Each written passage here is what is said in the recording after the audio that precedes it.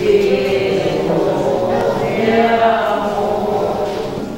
Pedimento ubicado a tan solo 10 minutos del municipio de Santa Catarina, Juquila, sitio donde miles de creyentes anualmente llegan al santuario a pedir todo tipo de favores a la Virgen.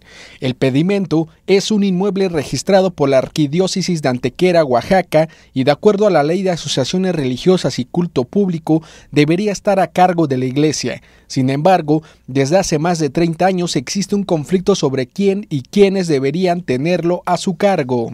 Esta situación ha dividido la región chatina, ya que por asuntos políticos y económicos se disputan los más de 10 millones de pesos que dejan los peregrinos anualmente.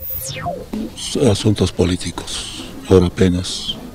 Y, el pueblo lo, lo tomó como, como lo tomó los comuneros.